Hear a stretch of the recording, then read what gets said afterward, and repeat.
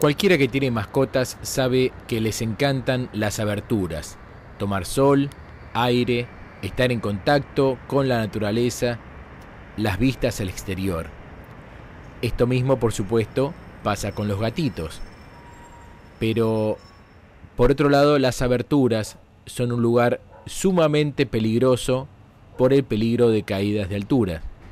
Entonces, evite los riesgos de que su gato o su perro se caiga desde una altura que pueda producirle heridas, como en este caso un piso 14 que probablemente le produzca la muerte, colocando redes de seguridad en sus ventanas y sus balcones.